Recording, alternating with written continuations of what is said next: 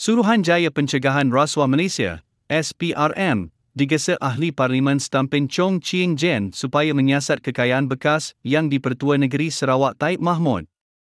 Gesaan dibuat wakil DAP Sarawak itu bagi mengetahui kekayaan dimiliki keluarga Taib.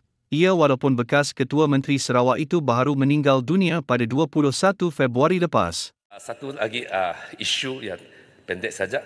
Saya ingin uh, menyambut baik siasatan yang diambil terhadap Tun Mahathir dan Tun Daim uh, berkenaan punca kekayaan mereka dan ahli keluarga mereka dan mengiru supaya kerajaan tindak tindakan itu disegerakan.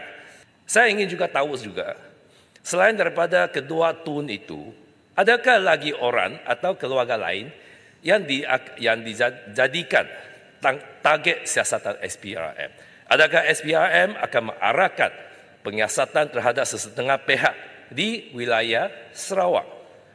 Sekurang-kurangnya, request for deklarasi aset perlu dibuat oleh SPRM terhadap mereka supaya kita orang Sarawak tahu berapa banyak harta-harta telah dikumpul sepanjang masa pentabelan, uh, pentabelan uh, beliau.